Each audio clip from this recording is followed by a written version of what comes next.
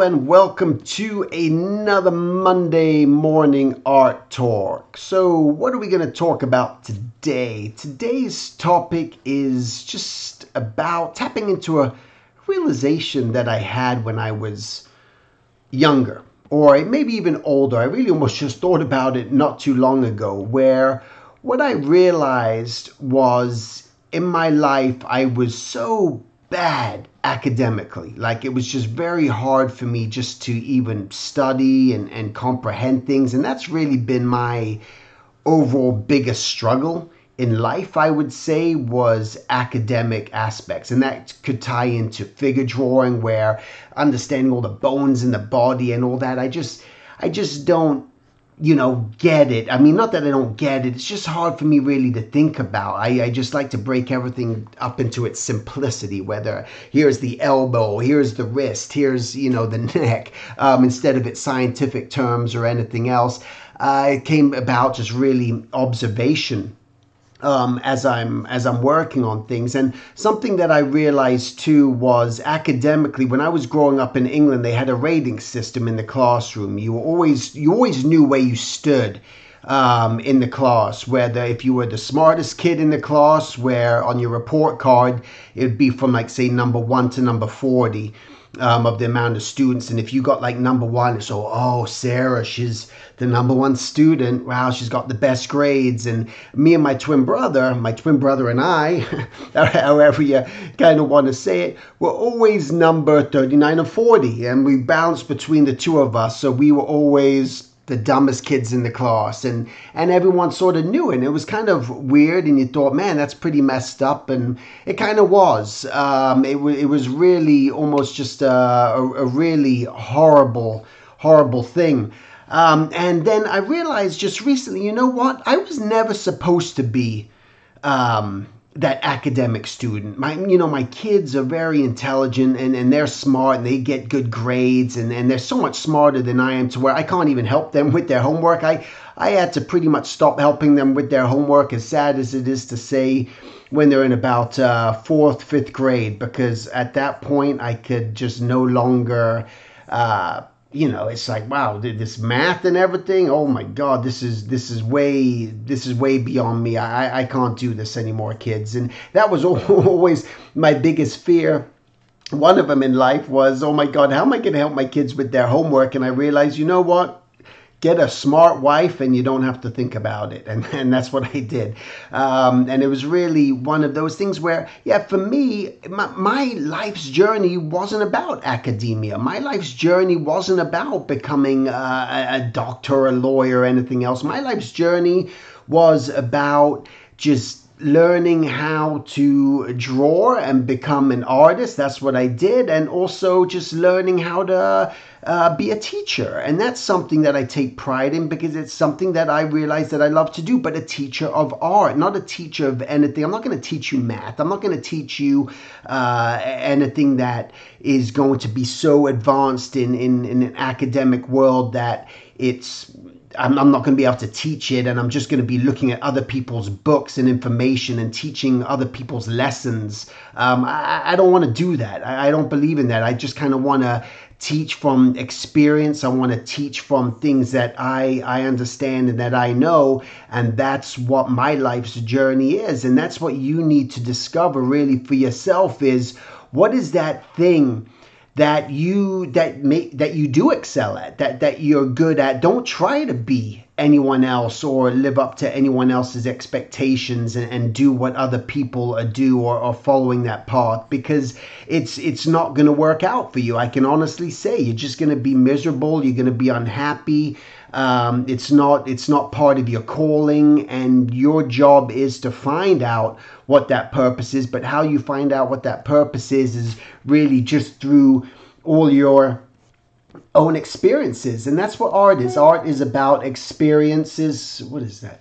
Um, art is about experiences. Art is about your own um, per- personal journey that you're going to go through your own personal things that you learn um, where i found to see many teachers they're not teaching what they uh, from what they know Okay, so it becomes hard and there's no truth to it. So it comes down to the truth of the matter of what you're trying to express. So try. Maybe you are academically smart. Maybe that is something that you um, strive in, and education was always something you took pride in, and you're good at. But you love art too. Maybe you love music. Maybe you love dance. But you want to do art, and I think the best thing for you to do at that point is take your whatever that skill is, that that that idea, that uh, thing that you uh, strive at, or you, you're you've perfected, whatever it may be but now, how do I influence that into my own personal artwork? How can I take the knowledge of my skill that I acquired as a, as an algebra teacher or, or just math or anything, and maybe tie it into something that deals with art that can become relatable? So now you're mixing um, an element of something you excel here and an element of something you're excelling here, and you start to collide those forces, and that becomes part of your purpose and your journey. So, whatever that you've maybe experienced or gone through in your life, maybe you were a security guard uh, at a place, and now, now you hate it and you don't want to do that. Um, anymore. It's just not what you're cut out to do. But what, were there any stories um, that really you could use as a as a storytelling aspect? Is there something uh, there that can that other people don't know about? What what what is the life of a security artist? What do you, I mean? A security. Um, uh, uh, uh, police guy. See, look at me. I'm as I. This is why it's it's kind of hard for me to draw and talk at the same time, and I don't know how much longer I can almost do this. If this is going to work out or not. I'm trying it. I'm experiencing experiencing something new. I'm trying to see what I can do here. If I can talk and draw at the same time, and man, it's difficult. Um, and I don't want to go through all the editing, and I don't want to do my drawing and then record my voice after. It's just not going to uh, work as well for me. Um, but I, I, think that's something just to really c- consider when you're uh, thinking about where your path is, where you currently are in your uh, in your life right now. If it's not exactly what you want to be doing, and you know in your mind that you really want to do art and make this this a living. Once again, the most important thing for you to do is to set goals for yourself. Don't worry about your future outcomes. Don't worry about where where you're going to be um, one day, is someday, and how it's going to pan out, and how it's going to work out, and what's actually going to happen, and if it's going to go a certain way or not. Because you, the reality is, you just don't know. And and why why sort of stress yourself out? Why why do that to yourself? Because you're just going to drive yourself um, insane and you just don't want to do that. So make sure that you really um, you know just just take whatever that you sort of have that knowledge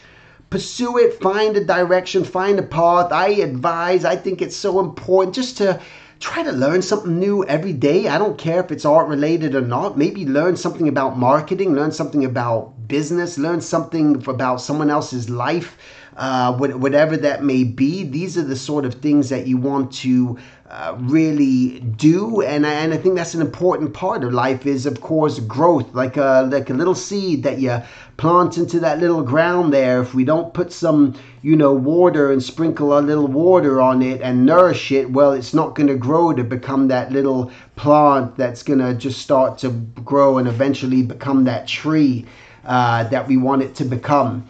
Um, the only way it gets there is through that uh, nurturing and through that love that you're going to um, you just sort of really uh, put into it. Okay, so I think that's very important, and that's really what this art talk was about today was just taking knowing what maybe your true purpose is in life and really just trying to discover that and really um, don't listen to what people think you're supposed to be or do in your life. Try to find that that direction that that is going to bring you that joy and bring you that happiness. For me it became teaching is my is my greatest joy and my, my greatest happiness that i find just so engaging and thrilling. I, I don't care about, um, you know, I love doing freelance. I love working for the studios, but I don't care about getting, uh, you know, uh, you know that sort of um, notoriety in a way. I think I never have. I think it's just happened in ways, and I've been a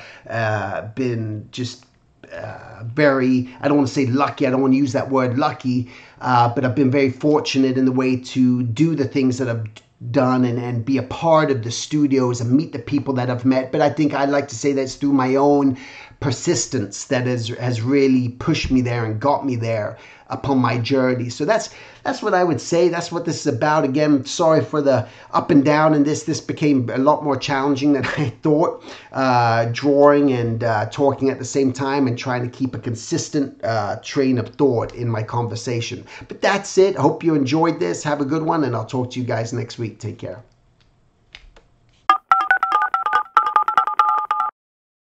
This is Stephen, and I just wanted to tell you about this cool thing that I'm doing right now through my website at silvertoons.com. It's a Skype mentorship.